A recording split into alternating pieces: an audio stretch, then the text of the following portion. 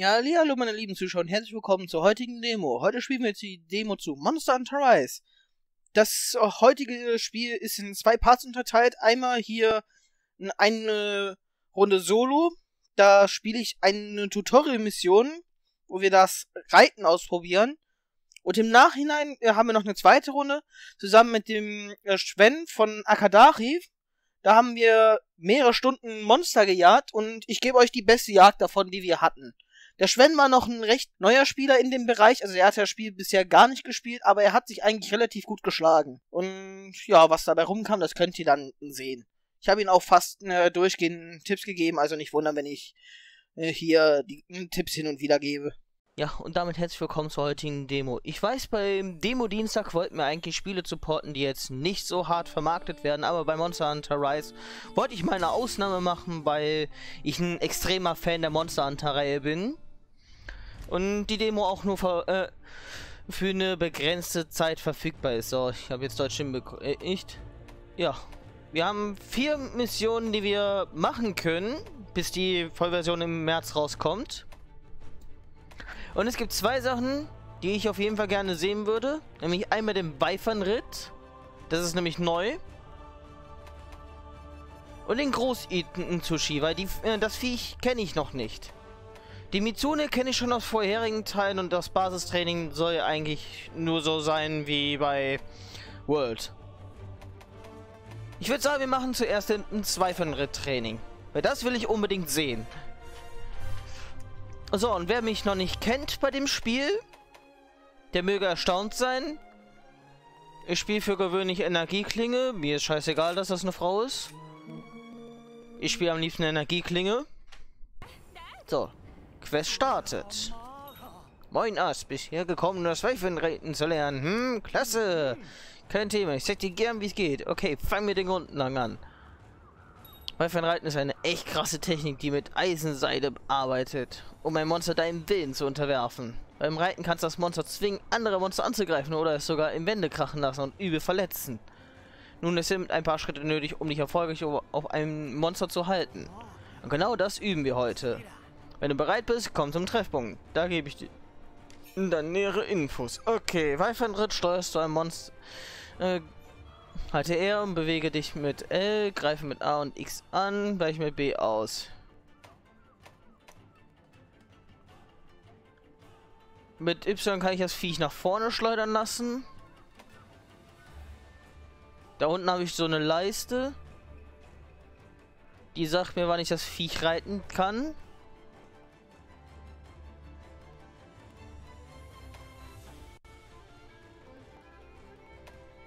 Okay.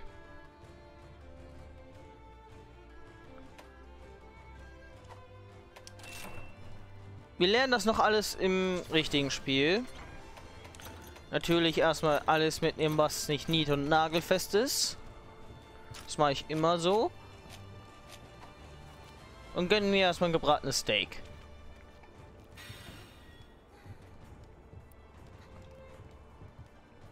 So, ich will da runter. Oh, ich kann mittlerweile im Sprung das Steak fretten. Das ist neu. Was für eine Klinge habe ich überhaupt hier? Ist auf jeden Fall von einem neuen Monster. So, ich bin bereit für den Ritt. Ich muss es erst in den Reitbar-Status prügeln. Okay. Okay, mit Seidenbinderkäfern.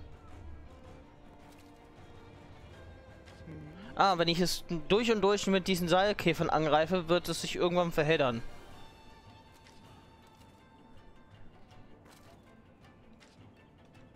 Okay, jeder Waffentyp hat eine eigene Seidenbinder-Technik. Okay.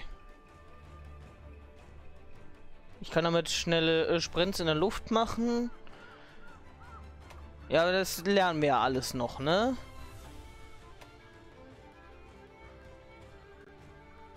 ZL und X für eine vertikale Bewegung, A für eine Vorwärts und ZR, um mich in die Zielrichtung zu bewegen.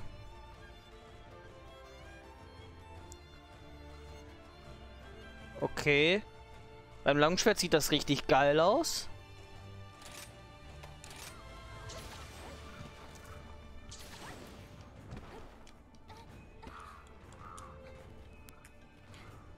Okay. Nice.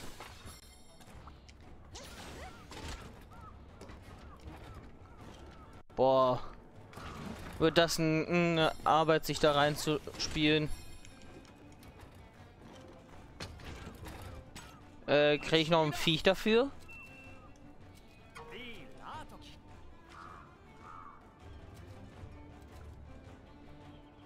Okay, die Marionettspinne. Das ist eine Marionettspinne. Damit kann man ein Monster reitbar machen. Okay, funktioniert beides offenbar.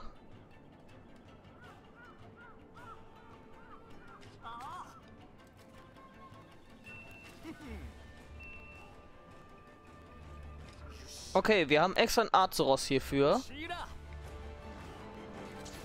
Und wie nutze ich dich? Hab sie. Wo habe ich sie? Hier. Go, Marionettspinne! Versetze Monster in den Reitbar-Status, indem du sie ausreichend oder stark mit Seilkäfern, Sprungangriffen und der Seidenbinde-Aktion verletzt. Sie gegeneinander kämpfen lässt oder bestimmte einheimische Wesen nutzt. Okay. Ich kann den Beifang jetzt reiten. Und ich habe ein neues Haustier. Du gehörst jetzt mir.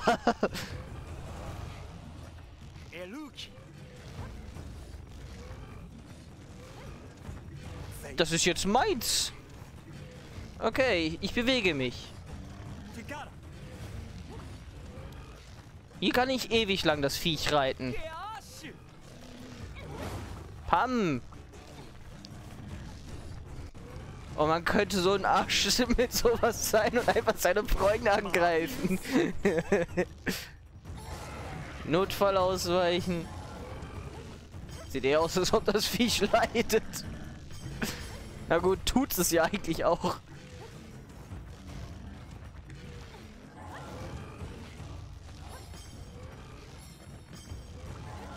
Was genau muss ich jetzt ausweichen?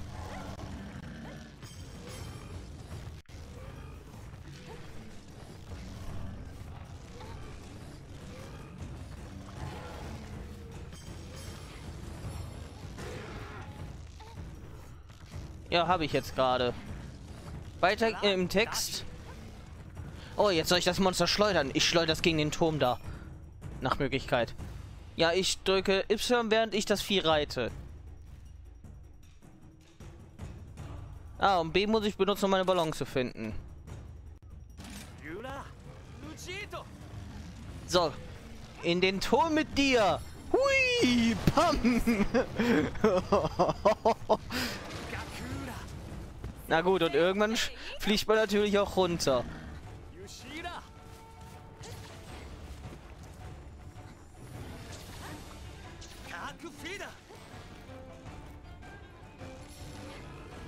So. Und da rein mit dir. Ich wollte ihn eigentlich da reinsammeln.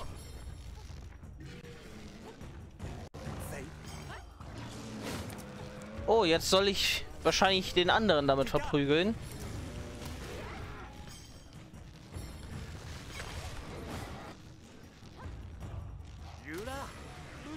Komm her! Na gut, wenn die sich gegenseitig umbringen, ist auch recht.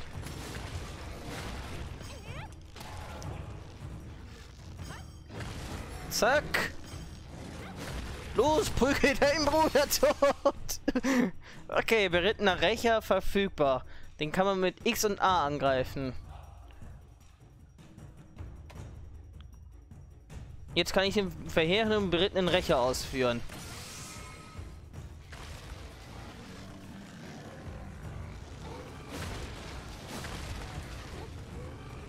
Habe ich den jetzt ausgeführt?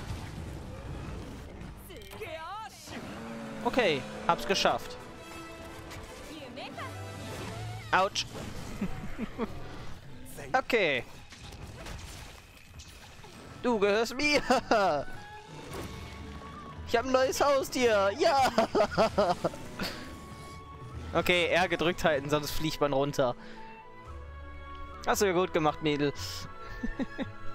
so, und jetzt will ich noch das eine Viech jagen. Alter, das ist der Hammer. Ja, guck mal, was man damit auch machen kann. Warte, das war nicht das, was ich zeigen wollte. Mit dem kann man nämlich... Ach, irgendwie kommt man mit dem so rumdrehen. Okay.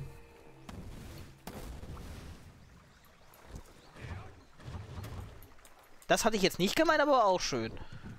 Wenn wir den Bären jagen, können wir beide Viecher einmal jagen. Gut, machen wir.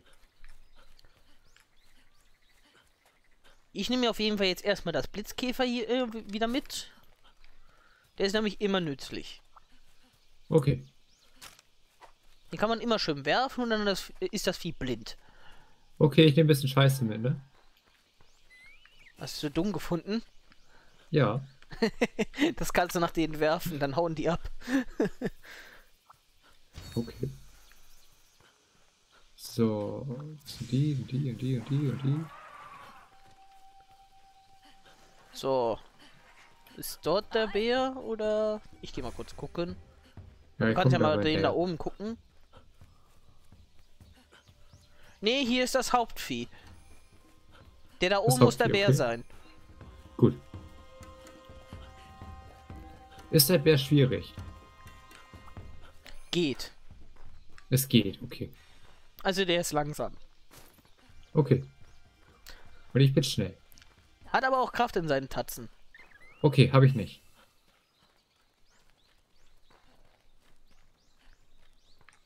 Der Bär heißt übrigens Azeros. Okay, so heißt ich auch nicht. Ist es der? Ja, Oh, ist das ein Knuffi.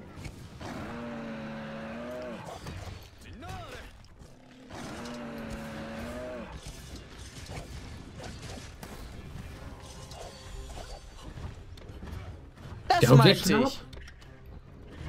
Hast du es gesehen mit den Drehen, was ich gerade meinte? Ja. Das hatte ich die ganze Zeit gemeint, du hast nicht hinbekommen. Ah. Aber warum haut das so schnell ab?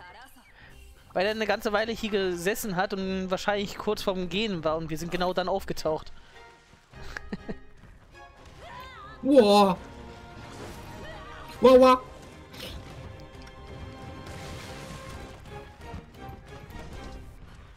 So, ich würde gerne diesen Sprung nochmal machen.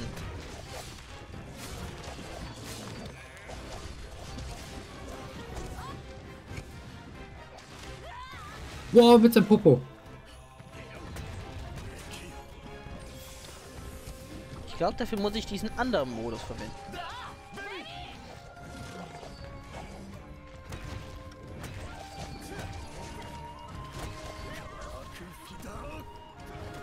Uh. Das könnte stark sein. Nein! Okay, dran. Oh, der hat gerade richtig kassiert. Oh ja! Ich habe ein Haustier! Schweden! Guck mal, ich habe ein Haustier! Lol. Das ist jetzt meiner! Tschüss! Alles klar. Gegen die Wand mit dir!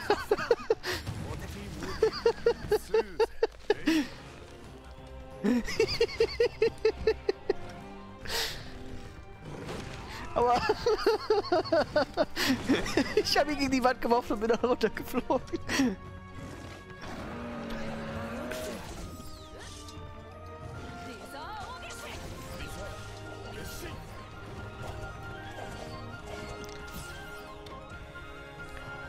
So, komm, das muss noch mal treffen. Pam, pam, pam, pam. Wenn es den zu Boden wirft, dann kann man auf ihn drauf. Ah, okay. Unter dem Monster ist auch so eine blaue Leiste. Wenn die voll ist, dann äh, ist er äh, kurz davor, so hinzufliegen. Oh, die greifen sich gerade gegenseitig an. Oh, oh. Warte. Das kann man nutzen.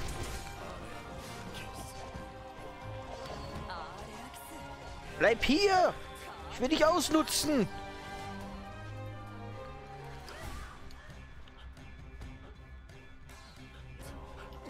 Steht der hier?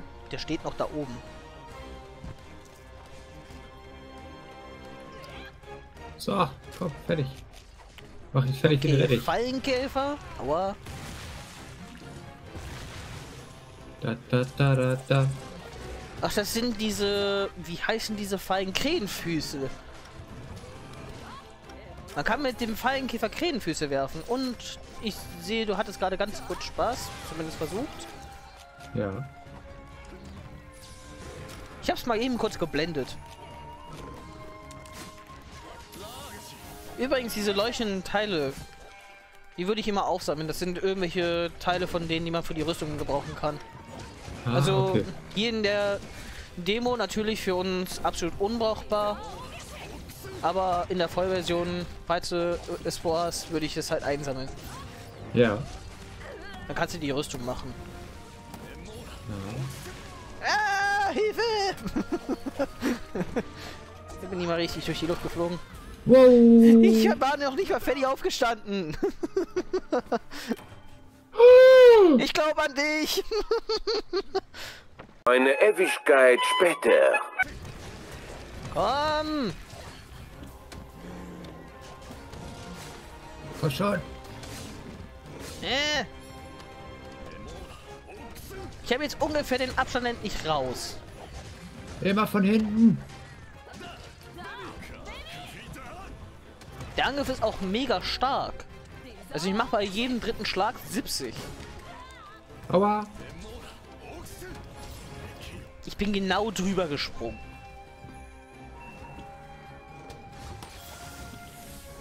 Schwen, Blasen, einfach draufhauen, funktioniert auch.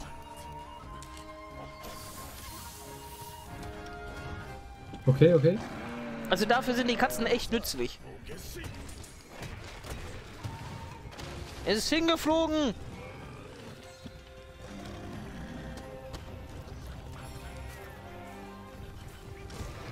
Ja, Frostbombe. Oh, das ist dieses Humpeln, was ich meinte. Hattest du es kurz gesehen? Ja. Wenn die so humpeln, dann sind sie am Arsch. Ja, okay. Honig.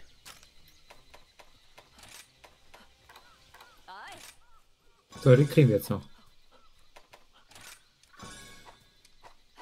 Der macht nicht mehr lange. Ja, und dann können wir das andere Vieh umbringen. Oh, Drachenschlagnuss, mhm. Weifermunition. Da rennt der. Ja. Den schnappen wir uns. Den holen wir uns. Wir holen uns den Drecksack.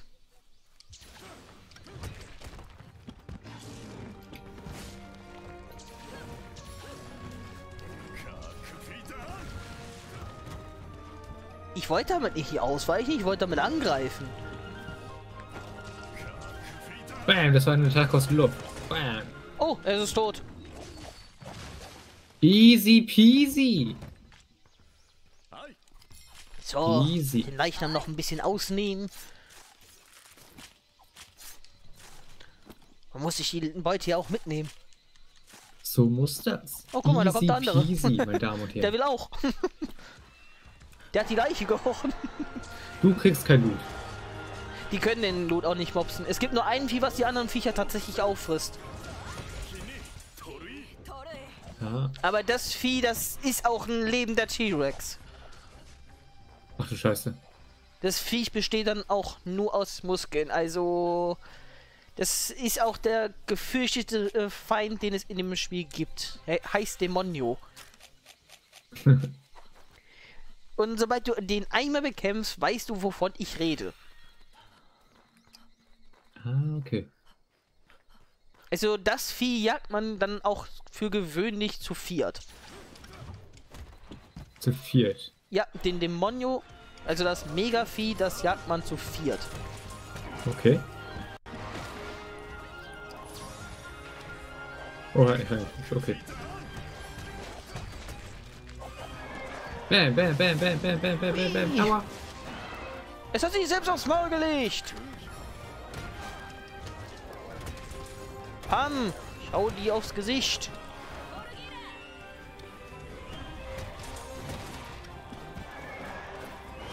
Der ist ja nicht ganz so stark. Wir können uns ja auch noch mal an den Drachen versuchen. Nee. Oh, du hast eine Falle gelegt. Ja, auch mal. So.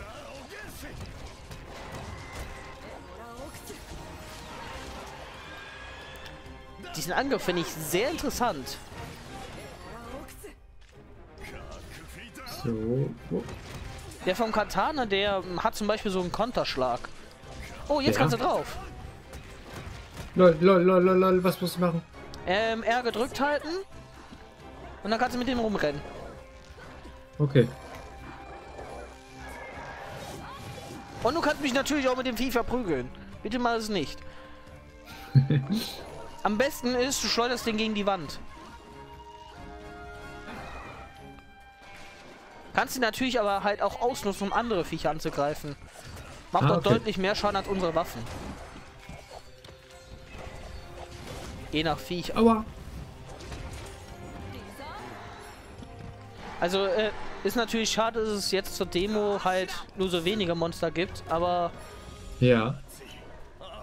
das äh, zeigt ja trotzdem, welchen Spielspaß damit man hätte. Also, die Vollversion hat ja deutlich mehr Monster. Das letzte Spiel hatte, glaube ich, so über 120 Monster. Krass. Davon waren fünf Drachenälteste. Drachenälteste sind die heftigsten Viecher des ganzen Spiels. Echt? Was können die so? Dein Leben auseinandernehmen. Krass. Also zum Beispiel gab es dann so ein Vieh, das wirklich so groß war wie eine Stadt. Dann nochmal Ja. eins, das sich um einen kompletten Berg äh, geschlungen hat und auch den halben Berg wegreißen konnte. Also die sind nicht zu unterschätzen. Bei einem früheren Spiel gab es dann auch noch so einen Unterwasser-Seedrachen. Ja. Der hat ganze Erdbeben ausgelöst. Alles klar. Wow.